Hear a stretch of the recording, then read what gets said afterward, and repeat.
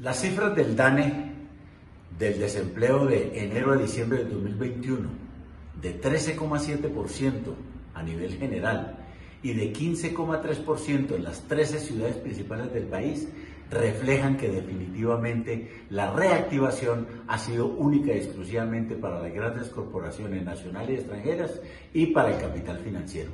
Para los trabajadores siguen habiendo, sí, 1.160.000 que no han podido tener empleo. Por eso la necesidad de que verdaderamente exista la renta básica universal para estos trabajadores que han perdido sus ingresos y no han podido recuperarlo y adicionalmente una protección del agro y la industria nacional para que se reactive definitivamente el empleo. No puede ser única y exclusivamente para los grandes ricos.